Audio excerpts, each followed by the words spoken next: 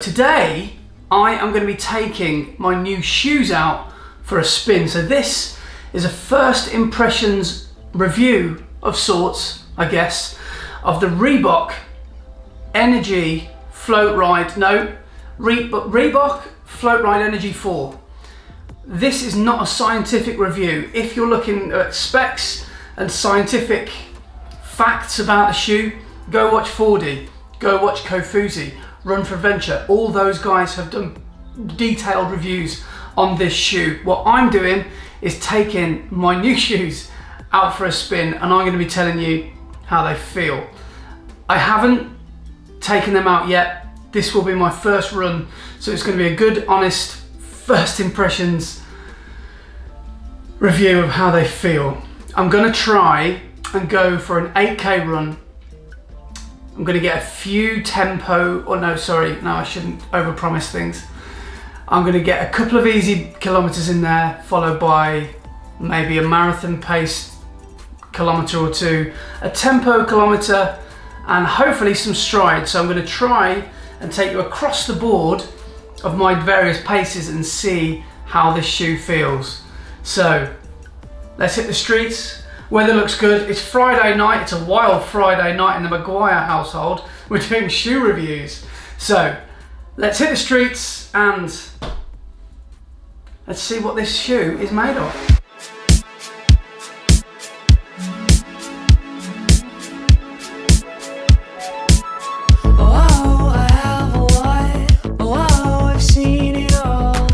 What are we going to do today? We're going to do 8k First two are going to be nice and easy, and followed by a marathon pace kilometre, which will be somewhere around 5.45 to 5.30 minute pace. Then we're going to go easy for one kilometre. No, no, then we're going to go tempo. Then the next four are going to be nice and easy, and then we're going to finish with some strides. So far, so good nearly 2k in. Nice and bouncy nice and responsive. Nice and comfy. No problems here. So why this shoe? Well a few reasons really. First and foremost I need a good daily trainer. I've got a pair of racing shoes that are my endorphin speeds twos that I leave for race day what I want is a good reliable daily trainer. I might look to increase my shoe rotation in a few weeks time to something that will suit a longer run better. But what I wanted was something that would just get me through 75 to 80% of my runs. I looked at the Puma Velocity Nitro, I can't remember what model it is, what iteration. And then I saw the Reebok Floatride 4, Energy 4. So many people I've chatted to online have recommended it. The threes. So then I noticed they're only 75 quid. And then I got a discount code getting me a further 25% off, which means these shoes just over 50 quid, at just over 56 quid, sorry, at 56 quid with free postage and packaging, I've got a pair of some really well respected shoes. So that's the motivation for having these shoes. I'm feeling the, the foam and underneath the midfoot and I'm finding that quite I don't know, it feels quite different, especially when I compare them to my Saucony Endorphin Speed 2s, which are like wearing pogo sticks. This feels like it's really absorbing the tarmac under my feet. And uh, yeah, it feels good, it feels nice.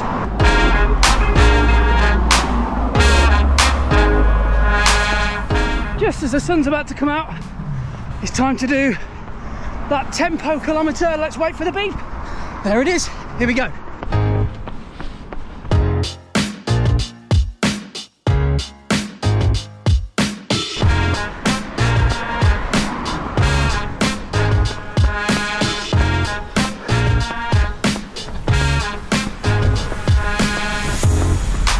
Man, these things are quiet.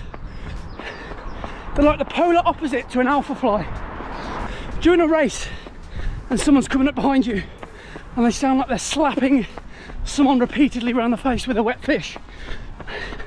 That's probably somebody wearing a pair of Alphaflies. These things are, are stealthy. Okay, let's bring it back down to easy again. Tempo kilometre felt good, felt nice, felt smooth. Still no rubbing.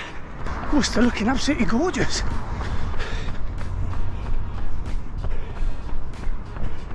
But more importantly, how are the shoes?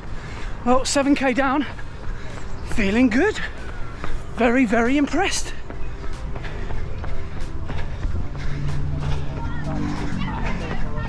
No problems or issues at any of the paces I've done.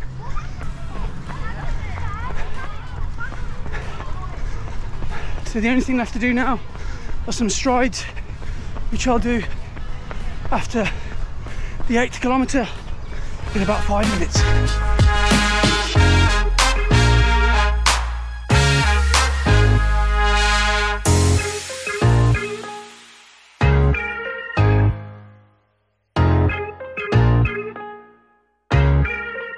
Okay, so now that's the easy kilometres done. Just going to set the camera up halfway in between this little stride track that I use. It's not a track. And I'm going to do a you know, two 30 second strides and uh, it's got a nice little horseshoe shape so it will give me an idea about how the shoes do on cornering and things. Hopefully I won't go flying into the basin. Let's see. Right then, let's see if they're any good.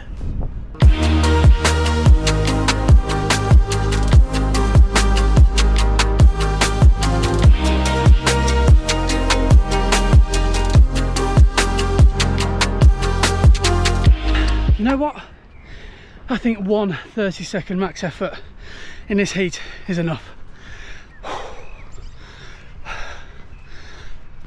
Job done. If you're anything like me, then this time of year, maybe more important than a good pair of running shoes is some sunnies. I have to wear sunglasses for like three, four months of these of, of this time of year because I've got horrific hay fever and they just act as a barrier to stop myself rubbing my eyes out. And also, if you live in Worcester, you'll know, if you live anywhere near water, I guess, a lake or a river, wherever you train, the flies around here are just like horrific. So you swallow about 400 flies on average and you get about 800 flies in your eye. So that is why you'll see me very often wearing sunglasses over this May, June, July, August period for my own sanity really. So just on the walk back now and just some thoughts and feelings on these Reebok Floatride Energy 4s. I can't remember the name. Floatride Energy 4, I think that was what they're called. They're good. I think they're really nice. They performed, I think, best at that. Well, I guess tempo was pretty good. I was going to say they performed best at the at the easy pace, but obviously I've only I've only done a grand total of 8 or 9k in them. So 50k, come back to me and see what I think. But they felt really good at that tempo kilometre that I did. The easy kilometres felt really, really comfortable on my calves. No problems on my Achilles, balls of my feet felt all right. Uh, so yeah, that foam that's that's in that, that's that, that's in the shoe feels really really nice and comfortable and I I can be yeah, before I finish those strides I did at the end. This shoe is not a speed shoe. Obviously you probably already know that but I can definitely tell you that for sure now. I feel like I've run quicker in my Saucony Endorphin Speed 2s with less effort. There's more of a there's more of a roll through the foot on those shoes than there is on this one. Uh, so yeah, didn't really feel the energy return as I was striding. That's probably just me making excuses because I'm slow. But yes, will I be sending these back? Well, no, because I've just used them.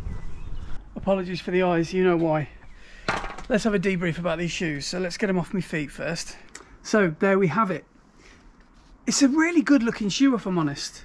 When I bought this, I thought I was getting like a off-white sort of magnolia sort of colour, but it, when you get it out of the box, it's not. You realise very quickly that it's not. It's it's actually like a, a turquoisey mint green this colourway, and it's got this obviously like like this neon sort of yellow trim uh, and blue. And I think it looks really smart. I think these are the best looking pair of trainers that I now own. So really pleased with the way they look. And the stitching when I think about it when I think that this trainer is essentially a cheap trainer I'm scratching my head as to why because the way it's made is it's really well made like the Reebok there is really nicely embroidered in the, the stitching across the upper is really nice. The upper itself is made of uh, all recycled materials. Or hang on, it says, oh, hang on, 30% of the upper is recycled material. So, sorry, that's not true. Um, but apart from that, I mean, it's light. It's the same sort of weight as my Endorphin Speed 2s. It's really quite a light shoe. And there's not really a lot else to say about it. It's just a good old a good old shoe and I was I was gonna let me put this back on so I don't walk around with one shoe on. So the reason I bought these is because I was I was really wanting a daily train. I've got Nike Pegasus 36 which are a little bit outdated now. I've done a, quite a lot of, of miles and Ks in them. The Rincon 2s have just completely lost their balance so they just don't feel comfortable anymore.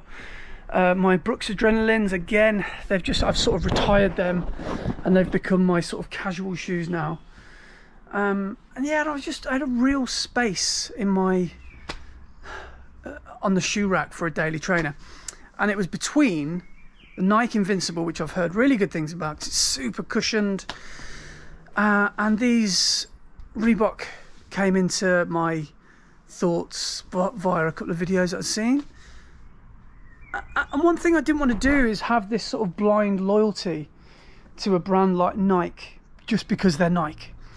I haven't worn Reebok on my feet since I was about 11 when I had some Reebok classics when I was a little delinquent. So it's it's actually really it's really strange really that I've gone for a Reebok shoe but they feel really good.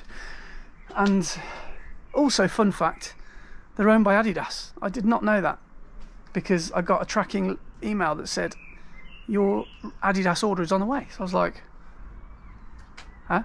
Anyway, as I said at the start of this video, this isn't an in-depth review on this shoe. It's just purely my experience using it on its maiden voyage. So I do apologise if you've got this far and you were hoping for specs and scientific experiments. I, no, that's not me. That's not my bag. I used it for the first time today. There were no catastrophic failures or any malfunctions with the shoe. So in my book, I feel like that's 56 quid well spent. And that's got to be the main thing about the shoe, hasn't it? 56 quid. That's almost unheard of now for a, a really good daily trainer in the market today for 56 pounds. Come on, that's a really good deal. So look for those look for those voucher codes because 25% off. It's a good deal. Anyway, like I said, thank you so much if you've managed to get this far through the video. Hugely appreciated. I will see you on the next video, whatever that may be about. But until then, I'll see you soon. Take it easy, you guys. Ta-da.